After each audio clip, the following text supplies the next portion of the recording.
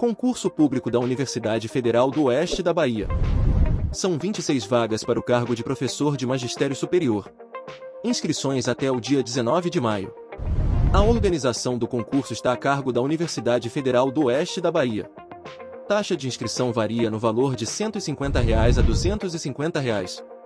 Prova prevista para os dias 13 e 23 de junho.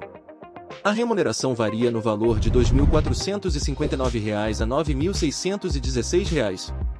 As vagas estão distribuídas em várias áreas do conhecimento. Se gostou do conteúdo, inscreva-se no canal, deixe seu like e comente.